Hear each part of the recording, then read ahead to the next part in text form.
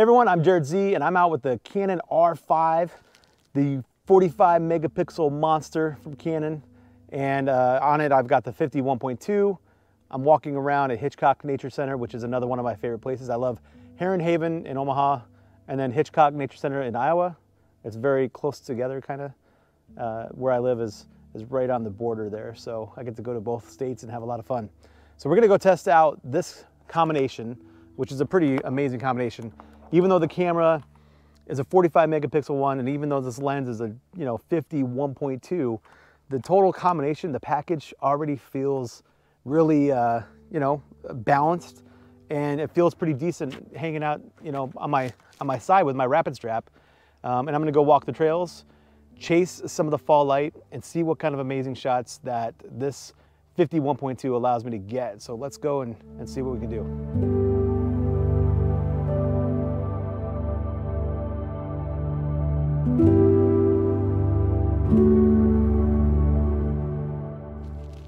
Right, one of the first shots of the day is gonna be a couple of these fall leaves that kind of fall and just happens to, uh, to lay on somewhere out in the natural environment.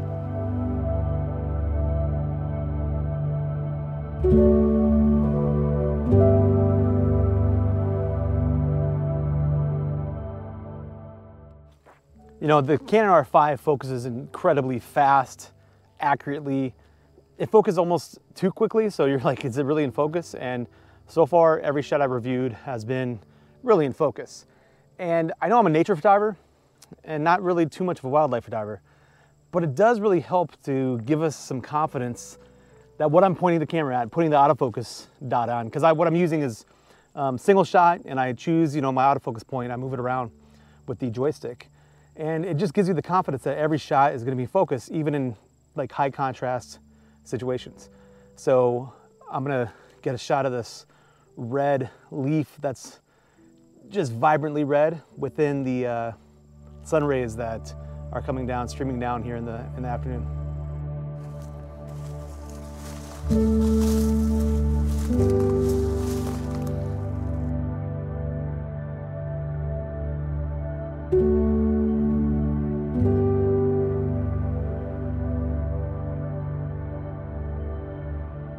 Hitchcock Nature Center is definitely one of the most beautiful places you can visit in the Omaha slash Council Bluffs uh, area. It's full of these amazing paths, lots of wildlife, and just some beautiful compositions almost everywhere you go.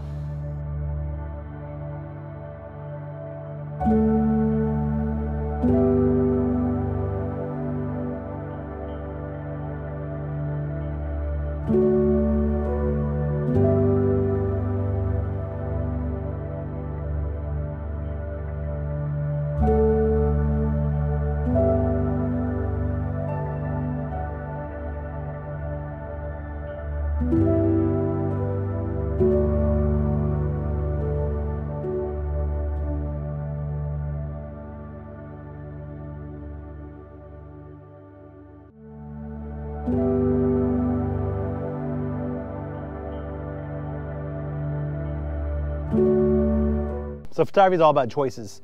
And one of the choices you get to make is how much you want to separate your subject from the background. But one of the challenges is when your subject is kind of far off in the distance. It's hard to, to get background separation for something like that.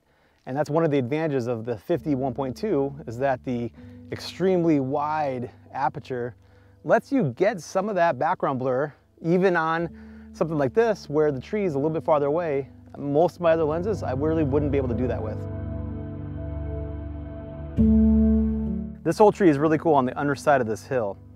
Uh, but with the 50, I can't quite get a wide angle shot. So what I've done is I've done three different shots, one over to the right, in the middle, and then a little bit on the left, that I'm gonna combine in Lightroom to make a real quick panorama that I think is gonna look great in black and white.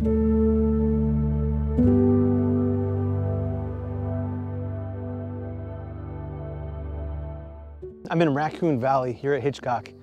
It's really one of my favorite places to go to. It's really low and it's nice and cool. The sun is almost like it's completely sunset right now just because the, the hill is so high over there. Um, but these, these trails go through some amazing parts. And the 51.2, because it has such a wide aperture, even when the light gets dim, it allows you to shoot at ISO 100 or 200 uh, to get the highest quality photo you could possibly want, right?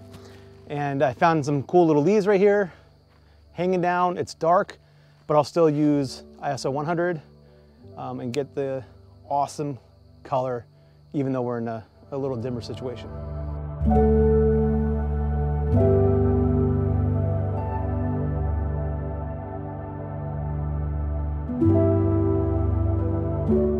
So I'm shooting into some really high contrast scenes and what I'm doing in these situations, you know, I don't have a really amazing sky to work with.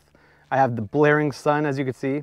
So I'm kind of trying to hide the sun in a lot of these and just focus in on the details that's being revealed by the sun rays uh, because those are interesting too, right? So I did want to come out here and hopefully get some cool skies, but as you can see, I have cool light, but I don't have the cool skies. So instead, I'm gonna focus on some of the details I find.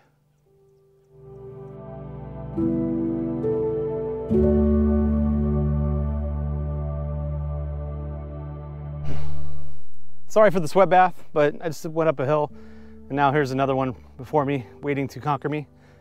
And uh, this is a good chance to show off the 1.2's ability to separate the foreground from the background, which is just stunning. So I'm gonna focus here on the uh, foreground and let the background be more implied of that there's a path there and let it be blurry going all the way up the hill.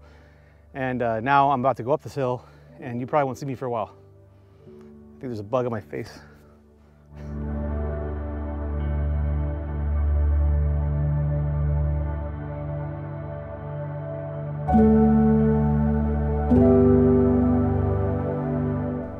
I made it up that gigantic hill, took a little rest.